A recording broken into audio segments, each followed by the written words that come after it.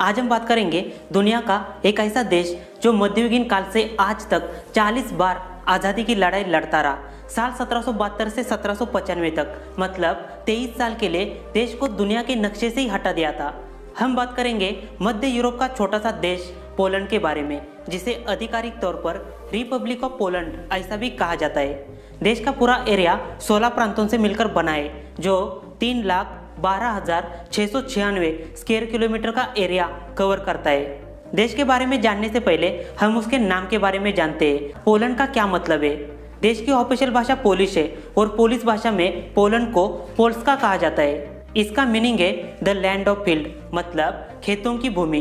Poles का शब्द को पोल शब्द से लिया गया था।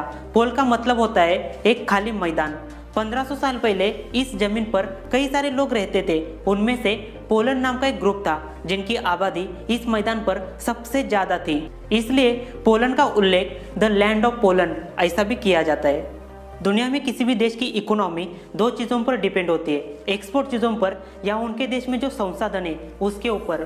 पोलैंड ज़्यादातर machinery, electronic equipment, vehicle furniture और प्लास्टिक निर्यात करता है। लेकिन आपको एक बात थोड़ी अजीब लगेगी, क्या आपने कभी एम्बर का नाम सुना है, जिसे हिंदी में पेड़ की एक गोंद बोलते हैं, जो काफ़ी समय से ज़मीन के नीचे दबी रहने की वजह से पत्थर में बदल जाती है?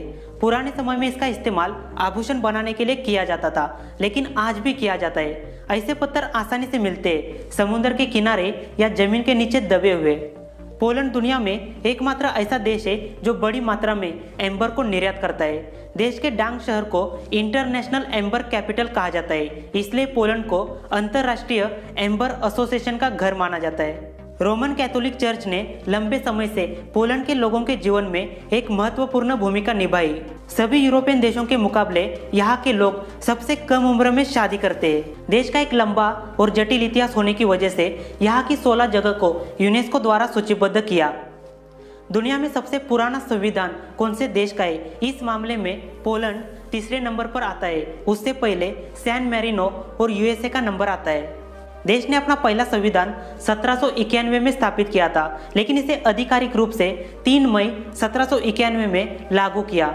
संविधान के अनुसार, देश में मजदूरों की रक्षा करना और राजनीतिक समानता स्थापित करना था। दुर्भाग्य से पुराना दस्तावेज़ मतलब संविधान, सिर्फ़ चौदह महीने तक चला। देश की आबादी 38 मिलियन से भी ज़्यादा है और यहाँ के 97 परसेंट लोग पोलिस भाषा का इस्तेमाल करते हैं। राजधानी की बात की जाए तो वारसा शहर, देश की राजधानी है और आबादी 17 लाख। दूसरे विश्व युद्ध के दौरान जर्मनी ने वारसा को पूरी तरह से नष्ट किया था। 25 सितंबर उन्नीस को जर्मनी के लड़ाकू विमानों ने शहर पर 1000 से भी ज़्यादा बमबारी की थी। युद्ध खत्म होने के बाद वारसा को नए तरीके से बनाना पड़ा। यहाँ पर एक ओल्ड टाउन है, जो असल में चौदहवीं सदी का था। लेकिन बमबारी में उसका भी काफ़ी बड़ा नुकसान हुआ था। आज की कंडीशन में जो ओल्ड टाउन हमें दिखाया जाता है, वो पुराना वाला नहीं है, बल्कि एक नया बनाया। रशिया के लोगों को ओडका ड्रिंक पीने की सबसे बड़ी आदत है, लेकिन ओडका का आविष्कार कौन से देश ने किया था, इस बात को लेकर रशिया और पोलैंड के बीच बहस होती रहती है। कहा जाता है कि आठवीं या नवीं सदी में ओडका का आविष्कार पोलैंड या रशिया में हुआ था। चौदहवीं सदी में ओडका ड्रिंक रशिया में काफ़ी फ़ेमस हुई थी, लेकिन इसका मतलब ये नहीं होता उन्होंने उसका आविष्कार किया। ओडका के बारे में दोनों भी देशों का अपना एक अलग इतिहास है। यूरोप का सबसे पुराना रेस्टोरेंट पोलैंड में, जिसका नाम है प्यूनिका स्वीडनिका, इसे पहली बार साल बारह में बनाया था और आज भी आप यहाँ पर खाना खा सकते हो। पोलैंड में एजुकेशन सबके लिए फ्री होता है, लेकिन जो इंटरनेशनल स्टूडेंट होते हैं, उनको कुछ मात्रा में ट्यूशन देनी पड़ती है। लेकिन देश के नागरिकों को एजुकेशन पूरी तरह से फ्री होता है।